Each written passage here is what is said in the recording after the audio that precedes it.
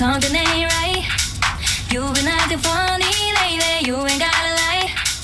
Got me out here looking crazy. What you tryna hide? Baby, I can't take it. You can't take it. Something ain't right.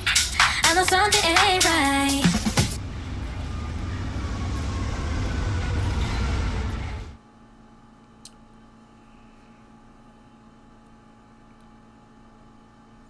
Yeah, again, to all the people that like jumped down my throat for the last era, we ain't friends no more. I'm just telling you right right now.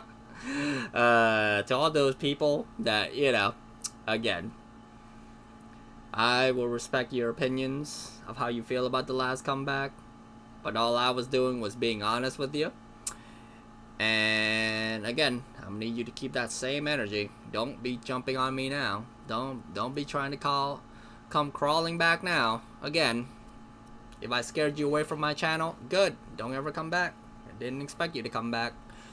Don't need you here, don't want you here. And as far as I'm concerned, I am gonna rock with the people that wants to rock with me. Cause again, they know who I am. They know how I feel.